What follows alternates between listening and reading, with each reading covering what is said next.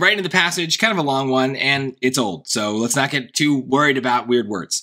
People who desire whose people whose desire is solely for self-realization never know where they are going. They can't know. In one sense of the word, it is of course necessary to know oneself. That is the first achievement of knowledge. But to recognize that the soul of a man is unknowable is the ultimate achievement of wisdom. The final mystery is oneself. When one has weighed the sun in the balance and measured the steps of the moon and mapped out the seven heavens star by star, there still remains oneself. Who can calculate the orbit of his own soul? Ugh, deep, you know, I don't know. I don't. I barely get it. Uh, but seems to be reiterating everything that goes on here. It's kind of just talking about knowing yourself, I guess. I don't know. Let's take a look at the choices. It reinforces the text's skepticism about the possibility of truly achieving self knowledge. So, the one thing that does bother me with this choice, and, and it's it's not necessarily wrong, but it it it worries me because I've seen the SAT do this before. A lot of times they'll have like words like they'll have a question like they do here and then they'll use words like skepticism or the word question or the word ask think words that we associate with a question mark.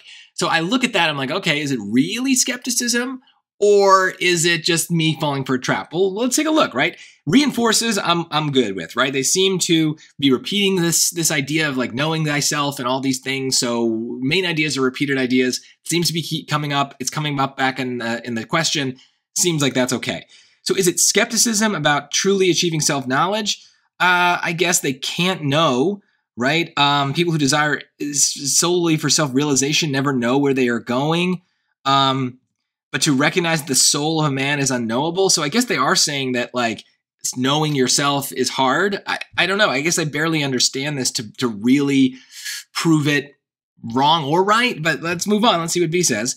It speculates that some readers will share the doubts expressed in the text about the value of self knowledge. Well, it's hard for a question to speculate, right? A speculation is a guess. So if you're questioning, how are you guessing? So I don't think it's speculating. Um, and yeah, did they say something that shot some other readers? I don't think so. I don't think we're bringing them in. It seems to just be Oscar Wilde talking this whole time. So this seems just wrong.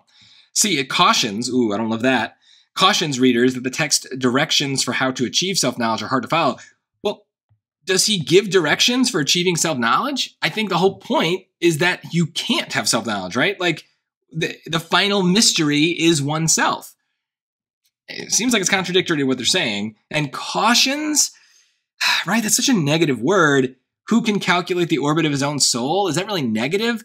you, might not have a good sense of what it even means, but I feel like if it were negative like that, we would know. So uh, this just feels off from connotation reasons. D, it concedes that the definition of self knowledge advanced in the text is unpopular. I have no idea what other people think. This is actually a word that strikes me as a quantifier, right? Uh, it seems to be saying lots of people believe something. I, I, have no idea. This is one author's opinion. And concedes, that word uh, means kind of like something like gives in or even like agree but agree in a reluctant way. It doesn't seem like this is an agreement of anything. It's, it is a question. So I, I think I was a little nervous about choice A because I, I have seen traps like that before, but there wasn't really anything else that it could be. And so, you know, mission accomplished. And it does seem skepticism, right? It's asking a question who can calculate the orbit of his own soul? I guess it's a rhetorical question, and, and maybe the idea is that no one can, based on everything else Oscar Wilde says before that. But um, yeah, something, something to just think about is be careful when they ask questions and then they ask you what the purpose is. It might not be actually to be skeptical or question something. It might have a deeper purpose, but here it's pretty face value.